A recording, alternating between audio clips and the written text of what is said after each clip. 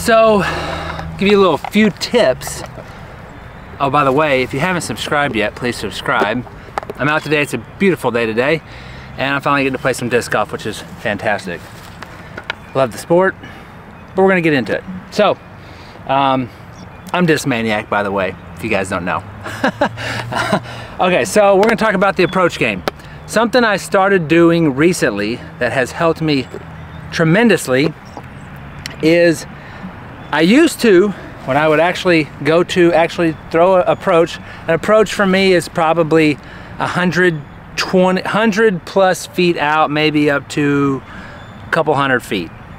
Um, where I'm actually doing like a, not a full power, this type of form on this shot, okay?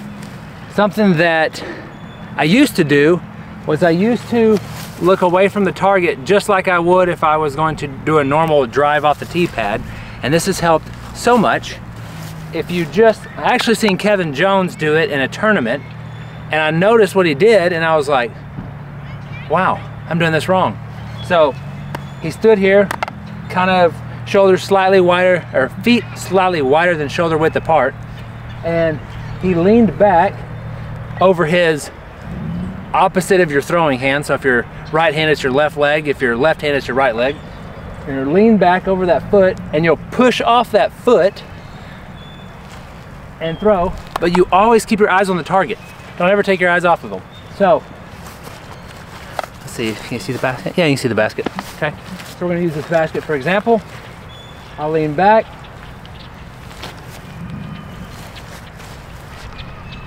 That was a little deep, but it was definitely inside the circle, okay?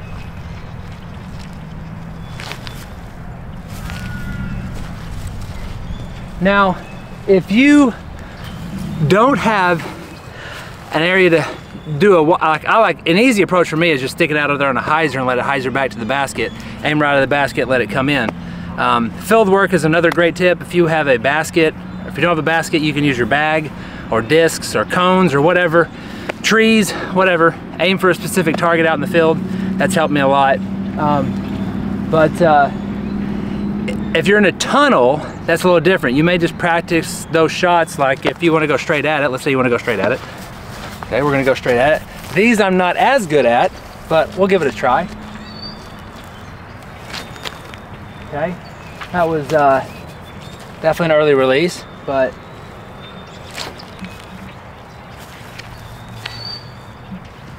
but it's definitely like the biggest, what helped me more than anything was just keeping my eye on the target sounds so simple. Those are some just quick little tips that seem to help me. Go get some field work in, practice hyzers, straight shots, um, and keep your eyes on the target. Try to load that back leg and just uh, use your hand as you pull through to just get the, uh, get the disc out there. And uh, it's good to like, you wanna aim for the basket obviously, but it's good to have like a, a circle in mind preferably inside the circle, which is 33 feet around the basket. So it makes it a lot easier when you have almost like a target area to shoot for instead of just aiming for the basket. I hope this helps you guys and I want to thank you guys for watching. Um, be sure to like and subscribe. Until I catch you in the next one, go in peace and be blessed.